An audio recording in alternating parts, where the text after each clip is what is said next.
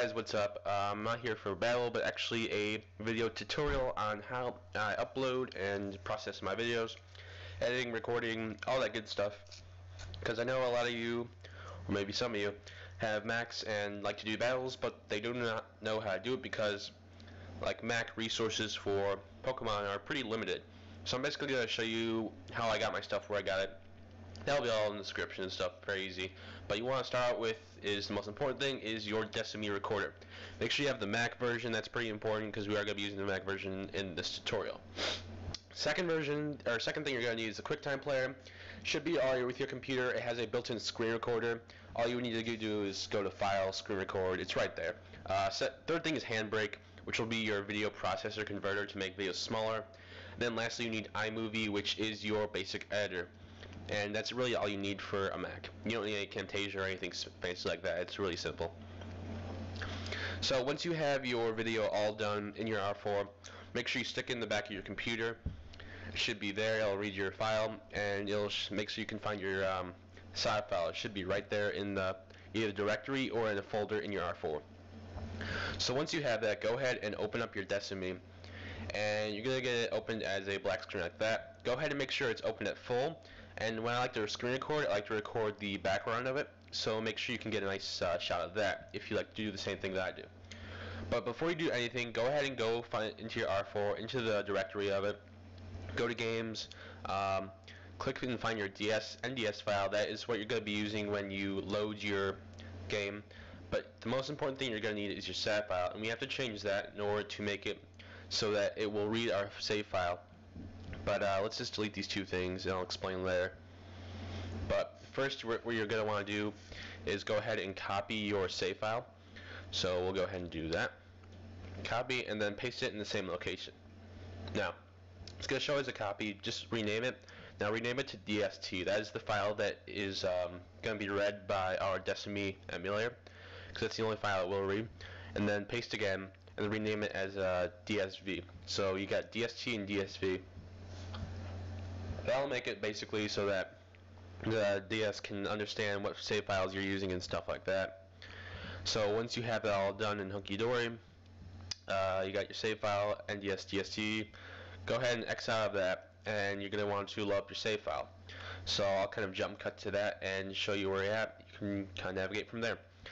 So once you have your save file and all the video all recorded, you just go File, Screen Record on your QuickTime player, and then click play on the play button on your uh, Desmume and record from there. It usually takes 20 to 30 minutes, uh, at least for my computer. Might take maybe 15 to 20 years. It all depends on how fast your computers are and how much processing uh, space they have.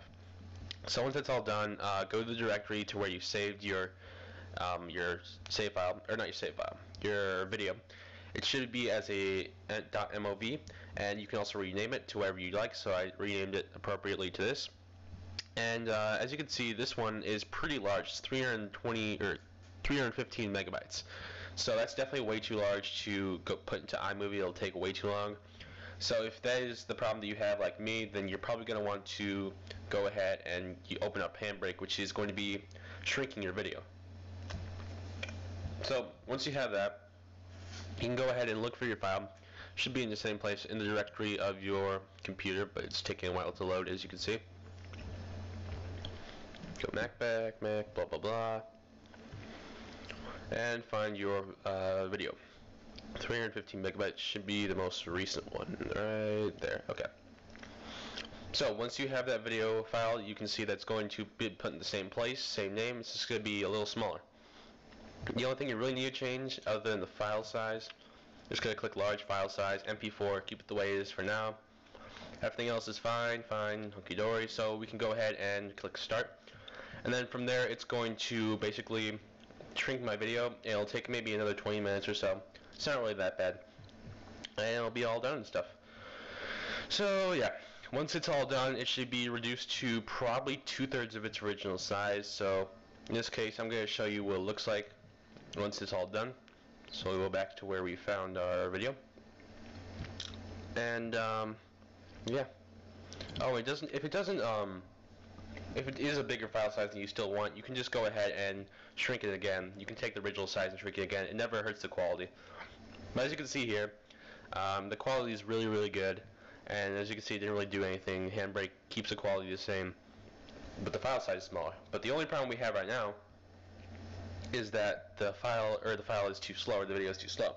So we're going to have to fix that in um, iMovie because the QuickTime player can only record as fast as the SMV goes, so that's something to keep in mind if you um, do not like QuickTime, but personally I, it's not a problem because I'm going to show you how you can fix that very easily. So, go ahead and open up iMovie. Um, it's probably going to load up your pre-existing project if you uh, already have iMovie. Otherwise, it'll just upload basically to a blank slate. As you can see, I have a folder right here specifically des designated for my battles and stuff.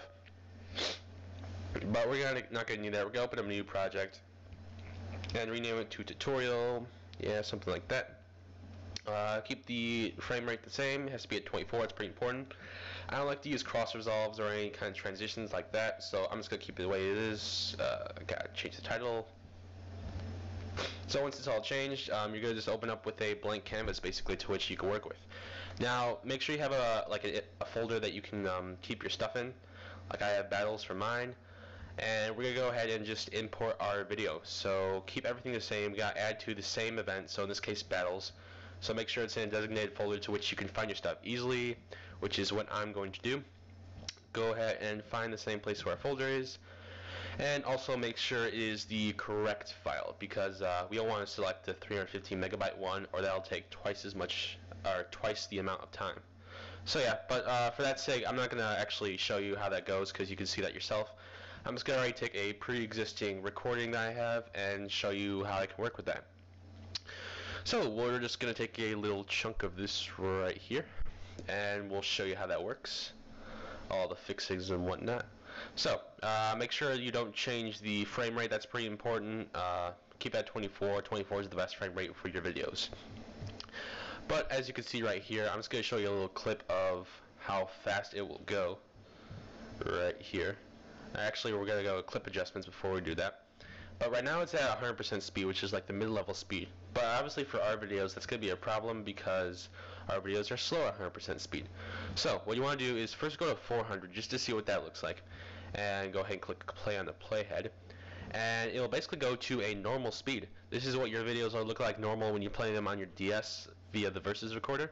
But we want to go a little faster because for narrations, usually everything's a little faster. Uh, that was a double negative. um, because you want to go at a faster pace when you're narrating your battles. You can go play by play basically. And as you can see, it goes pretty fast for narrating and stuff. Now, there's personal preferences to how fast you want to narrate your videos and stuff like that. But um, it's all really all up to you, I think.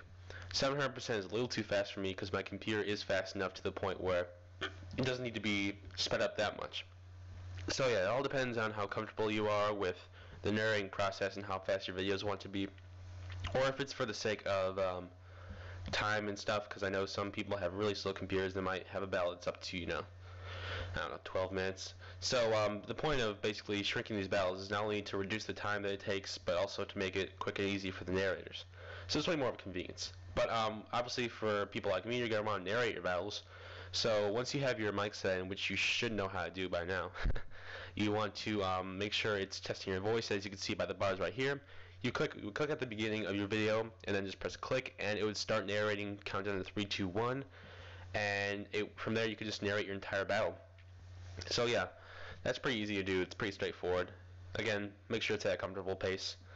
Stuff like that. Stuff and words and things. So from here once you're narrated everything's good to go. Speed up. Uh, I'm going to show you the basic transitions and stuff that I like to use I like to do fade to black um, for the beginning of my videos, at, or the end of my videos. At the beginning of my videos, I like to put little random effects, like I like the mosaic a lot. See how that looks? Eh, pretty good. Might try that later. But yeah, it's some other stuff you can experiment with. Um, you can put text on the bottom or on the top, wherever you want to put it.